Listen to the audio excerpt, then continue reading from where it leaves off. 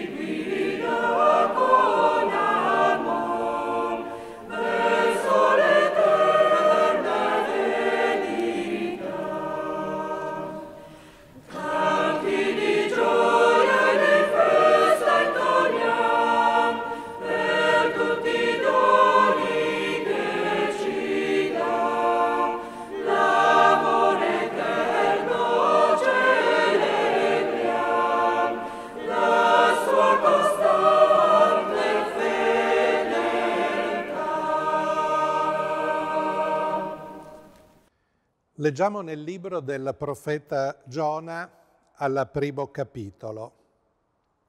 Il Signore parlò a Giona, figlio di Amittai, va a Ninive, la grande città, e parla chiaro ai suoi abitanti. Io so che è gente perversa. Ma Giona non volle saperne e per fuggire lontano dal Signore decise di andare dalla parte opposta, verso Tarso. C'era a Giaffa una nave diretta verso quella città. Egli pagò il prezzo del viaggio e si imbarcò con i marinai. Ma il Signore mandò sul mare un forte vento che scatenò una grande tempesta. Tutti pensarono che la nave stesse per sfasciarsi. I marinai ebbero paura e ciascuno chiese aiuto al suo Dio. Per non affondare gettarono in mare il carico della nave. Giona invece era sceso nella, nella stiva e dormiva profondamente. Il capitano gli si avvicinò e gli disse, come tu dormi? Alzati, prega il tuo Dio, forse avrà pietà di noi e non moriremo. I marinai si dissero l'un l'altro, tiriamo a sorte per sapere chi di noi è la causa di questa disgrazia. La sorte indicò Giona. Allora gli chiesero, dunque sei tu la causa di questa disgrazia? Che cosa fai qui? Da dove vieni? Qual è il tuo paese? Qual è il tuo popolo? Io sono ebreo, rispose Giona, e credo nel Signore, Dio del cielo, che ha fatto la terra e il mare. Quindi raccontò che si era imbarcato per fuggire lontano dal Signore.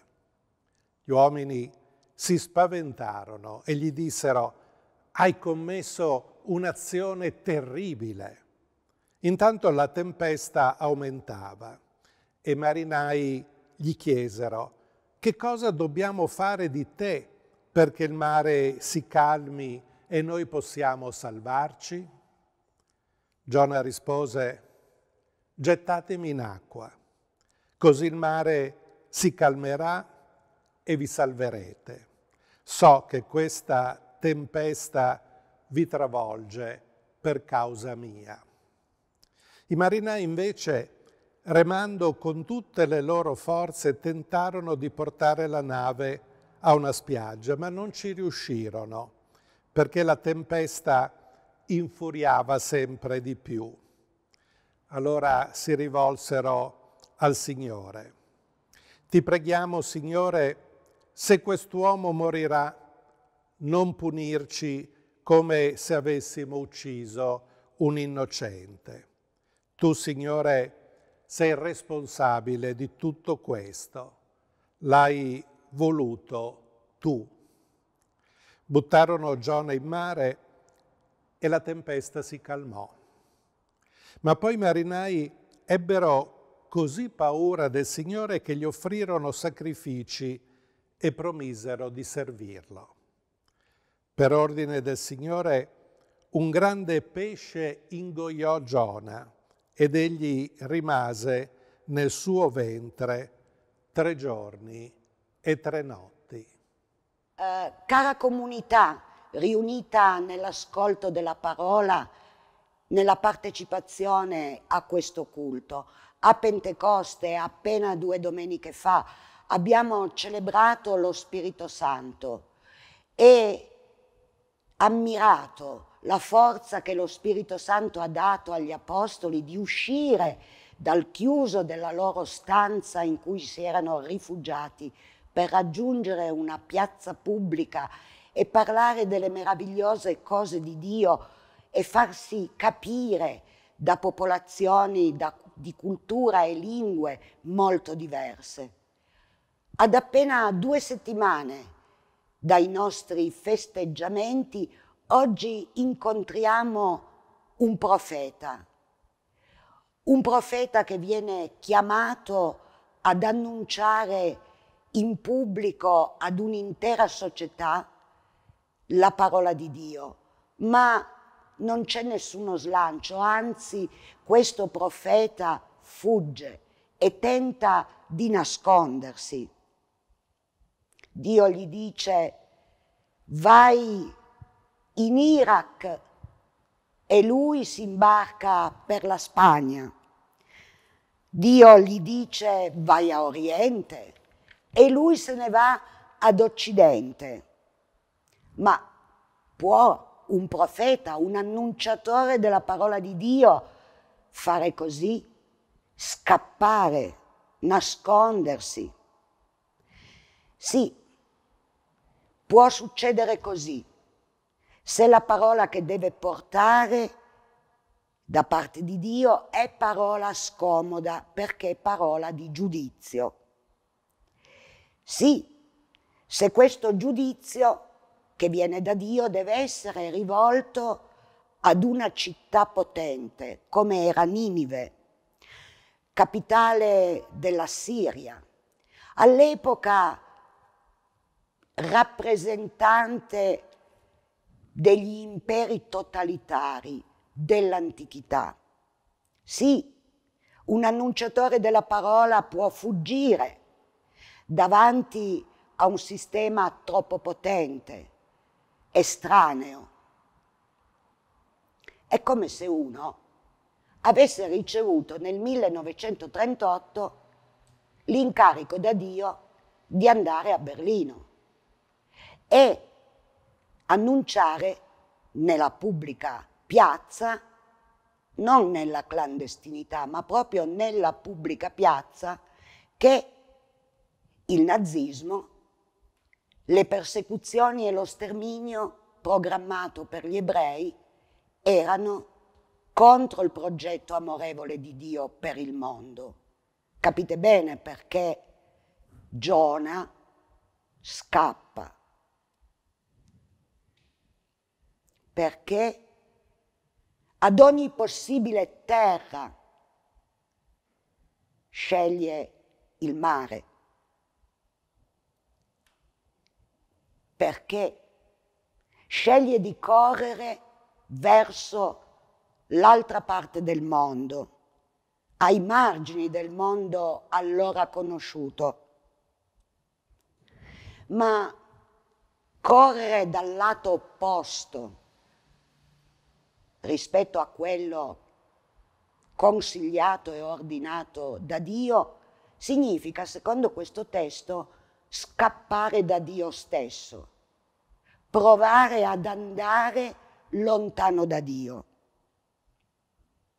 Sarà stata la parola scomoda, ma anche lo scetticismo di Giona sulla possibilità che qualcuno si converta la paura non solo dei potenti, ma anche di tutte quelle persone così abituate al sistema sociale della loro vita.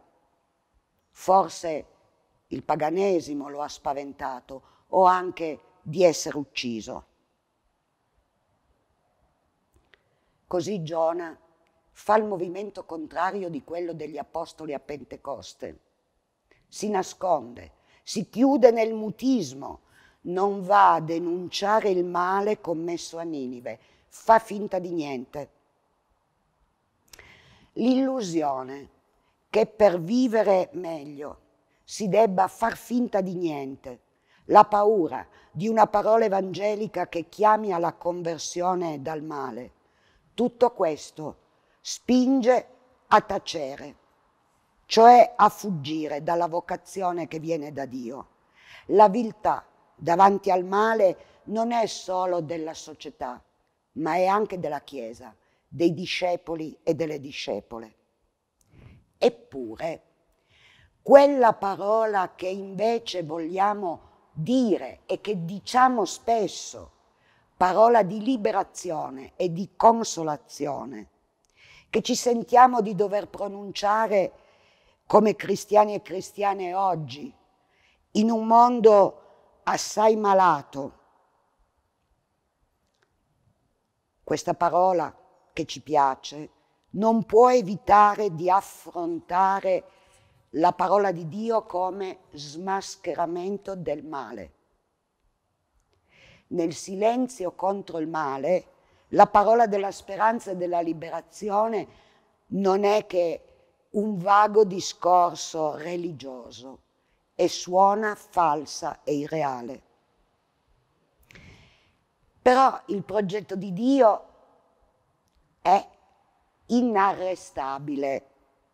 Così per Giona arriva la tempesta che blocca il tragitto della nave minaccia addirittura di distruggerla e interrompe la fuga di Giona. E ora tocca proprio a Giona sperimentare che la liberazione che viene da Dio nasce da un'esperienza del male da cui devi essere liberato e che può toccare proprio a te. E l'unica parola che hai è quella delle invocazione a Dio perché te ne liberi. Ecco, ciò che la parola di Dio ha per noi questa domenica. Noi siamo inviati nelle nostre società non semplicemente a dire parole di vaga consolazione, parole di una speranza inefficace, parole che già conosciamo tra noi. Noi siamo tentati di annunciare, di non annunciare la buona notizia perché siamo tentati di tacere il male da cui Dio vuole liberarci e così risultiamo inefficaci nell'infondere speranza. Che il Signore accolga la nostra invocazione quando diciamo con le parole che ci ha insegnato Gesù, non ci esporre alla tentazione, ma liberaci dal male. Amen.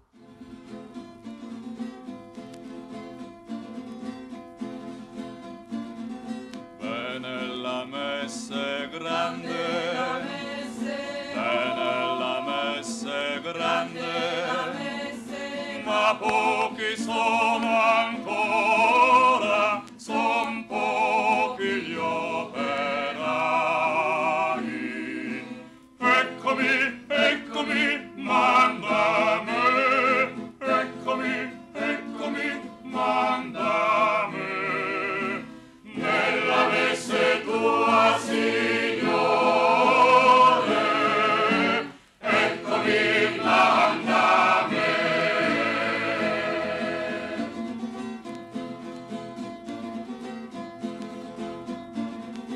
Iată-mi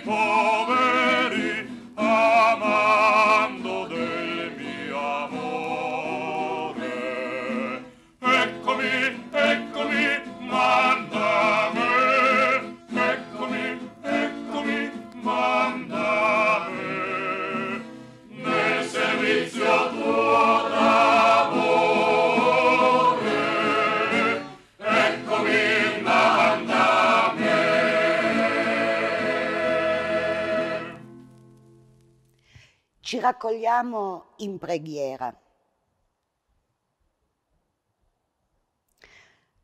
Nostro Dio, abbiamo molto da chiederti, ma oggi voglio chiederti per me, ma anche per tutti e tutte noi. Ti chiediamo che il dolore non ci lasci indifferente, che la morte non ci colga vuoti e sole senza aver fatto ciò che era necessario. Molte sono le cose che ti vogliamo chiedere, ma questa mattina ti chiediamo solo questo, che l'ingiustizia non ci sia indifferente, che non mi schiaffeggino l'altra guancia, dopo che un colpo ha già cambiato il mio destino. Vorremmo chiederti tante cose, ma ti chiediamo una sola cosa. Ti chiediamo che la guerra non ci sia indifferente. È un mostro grande e schiaccia fortemente tutta la povera innocenza della gente. Abbiamo tante cose da chiederti, ma questa mattina ti chiediamo solo questo, che l'inganno non ci sia indifferente. Se un traditore ha più potere di tanti altri, che costoro non lo dimentichino facilmente. Tante cose vorremmo chiederti ma questa mattina ti chiediamo solo questo, che il futuro non ci sia indifferente. Disperato è colui che è costretto a vivere in esilio. Nostro Dio, ti chiediamo di esaudire la nostra preghiera. Trasformaci in tuoi discepoli e discepole fedeli. Ogni cosa noi ti chiediamo nel nome di Gesù, che ci ha insegnato a pregarti così. Padre nostro che sei nei cieli, sia santificato il tuo nome, venga il tuo regno, sia fatta la tua volontà, in terra come fatta nel cielo. Dacci oggi il nostro pane quotidiano e rimetti a noi i nostri debiti, come anche noi li rimettiamo ai nostri debitori. E non esporci alla tentazione, ma liberaci dal male, poiché a te appartengono il regno, la potenza, la gloria, nei secoli dei secoli. Amen. E ci salutiamo non solo pensandoci fraternamente e affettuosamente, ma ci salutiamo invocando e ricevendo su di noi la benedizione che viene dal Signore. L'Iddio della speranza vi riempia di ogni allegrezza e di ogni pace nel vostro credere, affinché abbondiate nella speranza mediante la potenza dello Spirito Santo. Amen.